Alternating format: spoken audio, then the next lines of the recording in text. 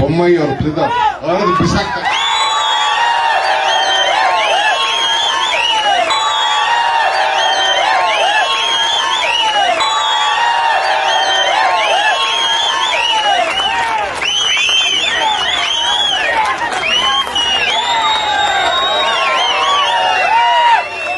ಇದನ್ನೇ ಇಡೀ ಕನ್ನಡಿಗರು